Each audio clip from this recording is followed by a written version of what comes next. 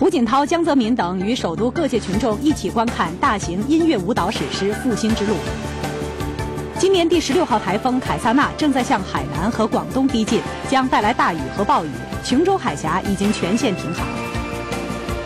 伊朗再次进行导弹试射，美国、俄罗斯等对此深表忧虑。此外，美国称间谍卫星拍到一座疑似伊朗铀浓缩设施。美洲国家组织召开紧急会议，就洪都拉斯局势展开讨论。而被困巴西驻红使馆的塞拉亚在联大用电话发言称，洪都拉斯已经陷入专政。陈水扁再次委任郑文龙等三位一审时的律师，重组律师团力拼二审。全球新闻中国播报，观众朋友大家好。大家好，欢迎收看这一时段的中国新闻。二十八号晚，党和国家领导人胡锦涛、江泽民、吴邦国、温家宝、贾庆林、李长春、习近平、李克强、贺国强、周永康与首都各界群众一起观看大型音乐舞蹈史诗《复兴之路》，共同庆祝中华人民共和国成立六十周年。十九时四十分许，在欢快的乐曲声中。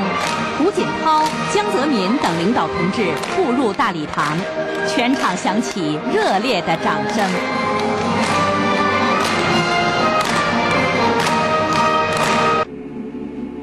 大幕开启，一名手持鲜花的少女在空中翩翩起舞，一群白鸽簇拥着鲜艳的五星红旗，飞过蓝天白云，越过壮美河山，在我的家园的歌声中。舞台上展开一条遥远的地平线，引领观众穿越时空，走进鸦片战争以来中国人民为实现中华民族伟大复兴而经历的可歌可泣的难忘岁月。《复兴之路》是继《东方红》《中国革命之歌》后的第三部大型音乐舞蹈史诗，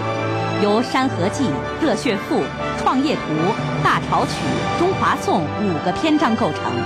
以磅礴气势和精美艺术，将一个多世纪中国人民的革命史、创业史、奋斗史浓缩在近三个小时的表演中，全面展现了中华民族在苦难中崛起、在拼搏中前进的光辉历程。惊梦、辛亥童谣、曙色等节目，刻画了近代中国人民。苦苦探索救国真理和强国道路的艰难和执着。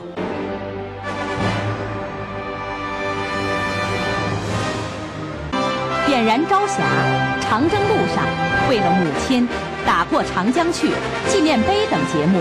颂扬了在中国共产党坚强领导下，中国人民浴血奋战，赢得民族独立。